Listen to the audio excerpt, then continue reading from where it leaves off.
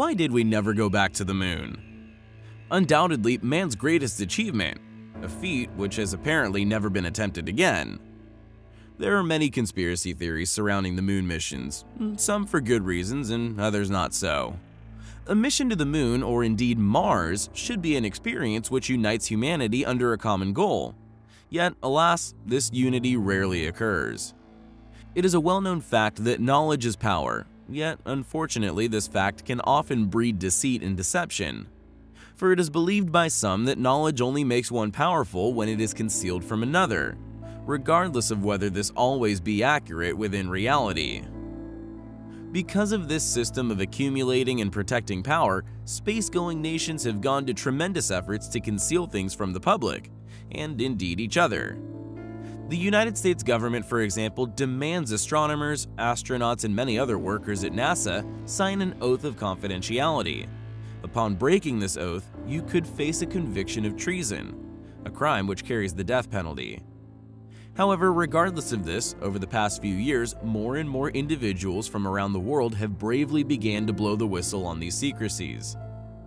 Dr. Ken Johnston, former director of NASA's Department of Photographic Evidence, has stated that during his stay at the agency, he was able to see original photos of countless ruins, pyramids, and intact temples all resting upon the moon. Not only are there now a number of independent testimonies made by numerous figures from within these space agencies and the accompanying programs, confessing to the concealment of ancient ruins on the moon's surface, but we also have compelling physical evidence of such structures, including photographs released by NASA themselves. One was snapped by the Apollo 17 astronauts in 1972. Subsequently uploaded to the official NASA website, it was originally labeled as overexposed. However, as technology has evolved and computer software has become more inept at refining images, it has revealed something amazing. Along with apparent pyramidal structure, clearly seen within this image, some investigators have also highlighted a possible monolith in the foreground. Was Space Odyssey trying to tell us something? Predictably, many people have come forward attempting to discredit this discovery. Yet, fortunately for us, in the December of 2008, the Hubble Space Telescope took some extremely intriguing images of its own. Images which seem to corroborate the once overexposed Apollo photo. Do these images actually show ancient ruins upon the surface of the moon? If this is the case, how did they get there? Or more importantly, who could have built them?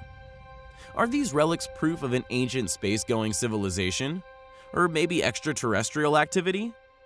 Regardless of how they got there, we find their existence highly compelling and could be perceived as a possible motive for turning the space programs into black projects. Maybe we did go back to the moon. It's just most were never told about it. After all, knowledge is power. Thanks for watching guys, and until next time, take care. There are many unexplainable ruins upon our planet, whose age, or indeed true origins, are still an enigma to be unraveled. However, we feel that thanks to ours and many others' astute and devoted research, we do now have a very thorough understanding of past lost civilizations' capabilities. In some areas, there is undoubtedly more than one advanced ancient phase of building work. For instance, we feel that the ancient pyramids of Giza, ancient relics photographed from almost every angle, now, thanks to alternative research and in-depth scientific investigations, shows clear indication of at least three phases. These three phases are also possibly evident at many other ancient sites, in particular Peru. What's important regarding these phases is that although they have undoubtedly been accomplished at vastly different times in history, they are all incredibly advanced. In fact, they are far more advanced than any ancestral attempts to recreate them, which can be found throughout our own thoroughly academically documented history. This throws up some controversial implications. For example, did this ancient civilization, just like ours, develop to a point where they were capable of space travel? Or perhaps, a more interesting posit, were these most sophisticated and indeed ancient ruins left by a civilization who actually traveled here from another planet to begin with? perhaps Mars? Since its discovery, Mars has been the subject of countless theories regarding the possibility of past life having once flourished upon its surface. There are even those who have proposed and relentlessly searched for an ancient advanced human civilization having once inhabited its red landscape.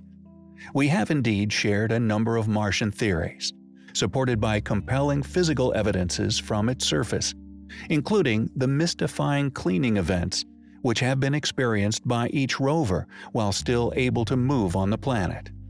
Although many of the most compelling, possibly ancient artifacts found upon the Martian surface have indeed been covered by numerous sleuths, we feel the following object's possible identity may have been overlooked. Pictured within a NASA image known as Sol 746, presumably taken on the 746th day, it shows a perfect sphere resting in the red dust. Although noticed, its puzzling characteristics, surprisingly, have yet to be linked with one of the most recognizable UFO shapes of the modern age the metallic sphere.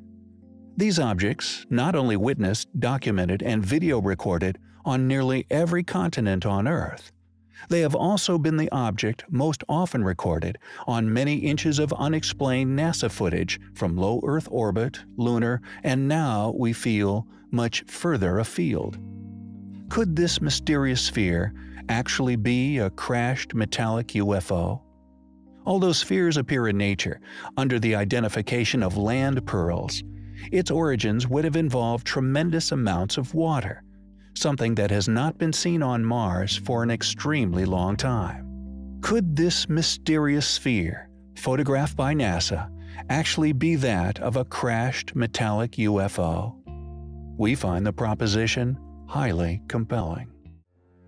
In our last video, we discussed the possibility of there being a secret colony on Mars, a colony made possible by modern technologies advances in sustainable agriculture, and life supporting artificial ecosystems.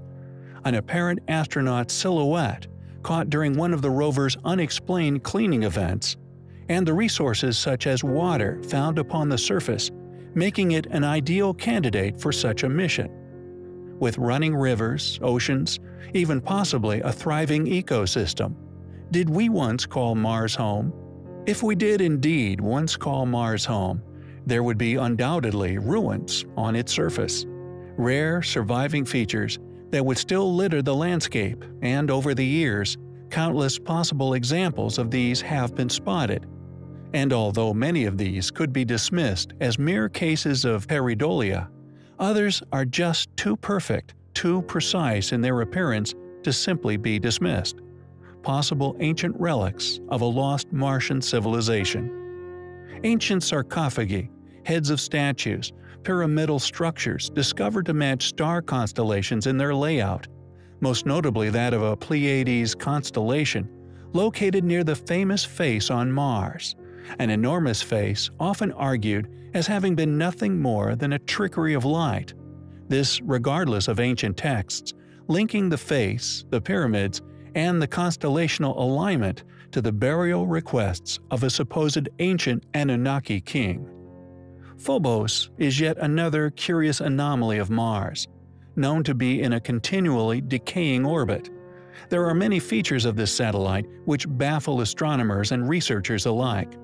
For example, when one calculates its orbit, they are shocked to find that this orbiting rock should have crashed into the Martian landscape many, many years ago.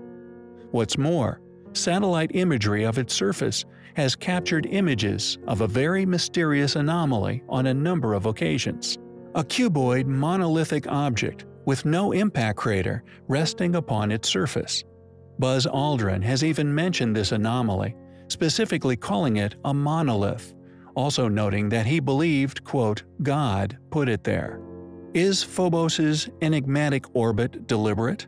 A past attempt to draw our attention to it subsequently discovering this monolith? Could it possibly hold undeniable proof of not only other life in the universe, but the past habitation of Mars itself? It is undoubtedly highly compelling. Habitation on the moon. We can visit other people with their habitation. We can keep track. If there's something very important to be developed from the moon, I'm not sure what it is right now. And I sure think we should identify what it is for America to make such gross expenditures again for human habitation on the moon. We can help. We can join with. Together, we can explore the moon and develop the moon. We should go boldly where man has not gone before. Fly by the comets, visit asteroids, visit the moon of Mars. There's a monolith there, a very unusual structure on this little potato-shaped object that, that goes around Mars once in seven hours. When people find out about that, they're going to say, who put that there? Who put that there?